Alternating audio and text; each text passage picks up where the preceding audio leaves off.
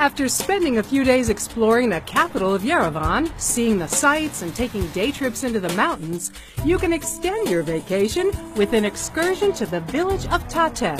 And getting there is an adventure in itself. Wow, it's so beautiful. The Tatev funicular, also known as the Wings of Tatev, holds the Guinness World Record for the longest non-stop double-track cable car, which means incredible views that will literally take your breath away. Ooh, we are so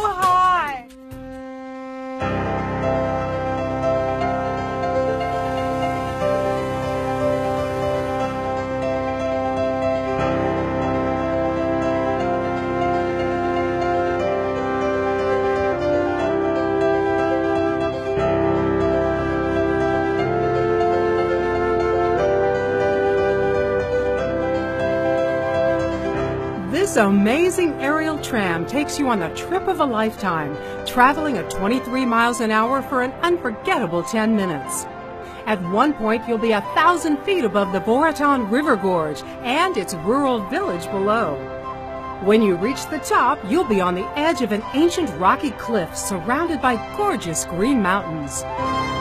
Wow, that was one of the most amazing tram rides I have ever taken. And if you thought that was great, wait till you see what's next. Perched on the edge of the gorge is the medieval monastery of Tatev. Its centuries old stone block walls stand tall, a necessary feature of the past, but not so formidable to present day tourist invasions. This is beautiful. How old is it? Uh, 10th century. And the name of it is? Tatev.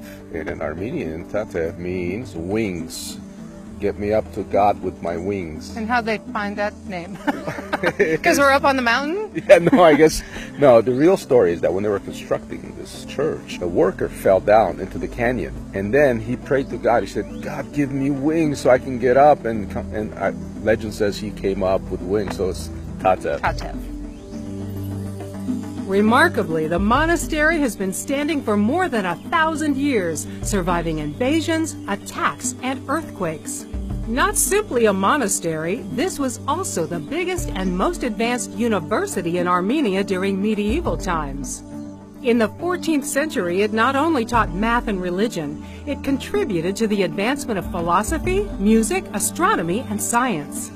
As you're exploring, definitely look into the original oil mill, now fully restored as an interactive museum.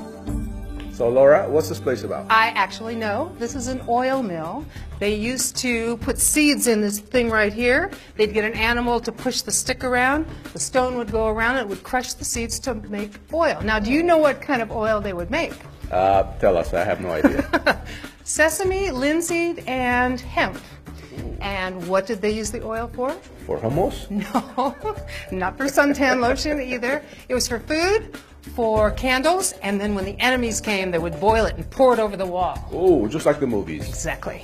The oil mill was built outside the wall of the monastery so that private clients could use it without interrupting the serenity of life in the monastery.